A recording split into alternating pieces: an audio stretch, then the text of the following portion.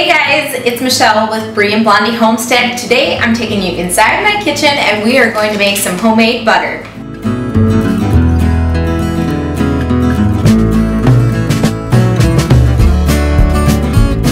As you know, if you followed me on the blog and my YouTube channel, we do have a family milk cow.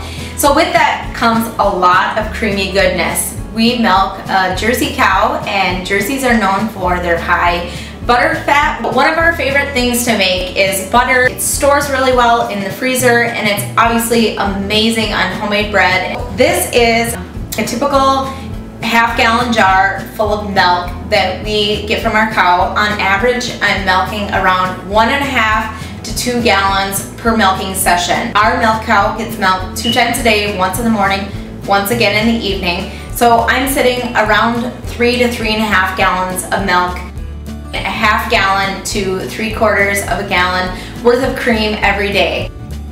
I will skim the cream off using a turkey baster and place it in one of these quart-sized jars or I'll place it into a half gallon size mason jar if that we have that much cream. I'm making butter every one to two days it's something that I can easily do on my KitchenAid mixer. Another thing that you could try is using a blender. I have mixed reviews about using a blender versus my KitchenAid mixer.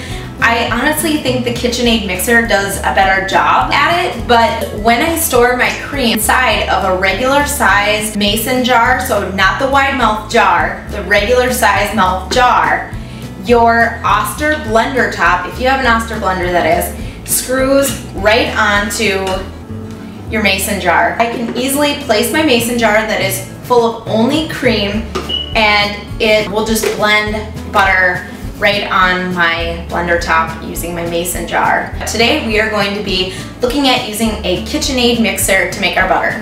When you're using raw source of milk like this or if it is non-homogenized milk the cream will start to rise up to the top. This is where you go in and you skim that cream off. We'll only be using the cream portion for the butter. If you happen to get some milk in there, no big deal. It will just equal more buttermilk left over in the end if you include some milk in with the cream. I place the whisk attachment onto my mixer. After I have my cream added into my mixing bowl, put the mixer down, you want to keep the mixer around anywhere from speeds of 4 to 6. This tends to get quite messy. I always cover my mixer with a towel and sometimes I'll put a towel even underneath my mixer. I would recommend taking your milk out and placing it on the counter for about 10 to 20 minutes before you go to make butter. The warmer the milk, the easier it is for those fat molecules to separate away, making your cream churn into butter more quickly. If you don't have fresh cream, you can always use heavy whipping cream from the store. This isn't always the most cost-effective way to source butter. Store-bought cream can run anywhere from 15 cents to $1 more than store-bought butter. Visit my blog in the link below for more information on pricing. One of my favorite things about homemade butter is an amazing yellow gold color. It's from all that beta carotene that's found in summer grass that the cows are out eating. After your butter is solidified, fill a bowl with cold water and drop a few ice cubes in it. Squeeze and rinse the butter many times to remove any buttermilk coating it. Buttermilk will spoil the butter more quickly. Remove the butter from water and dust the salt over the surface of one side of the butter. Salt is added for flavoring and preserving, prolonging the shelf life.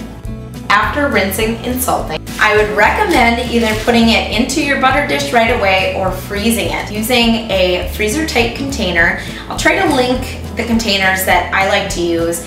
They are a one pound container and they are made for the freezer or you can simply wrap your butter in some type of a wax paper and then place your butter in the wax paper inside of a freezer bag Alright, well I hope you've enjoyed this video making homemade butter. I'd love it if you gave this video a like, subscribe to my YouTube channel for many more homesteading videos to come.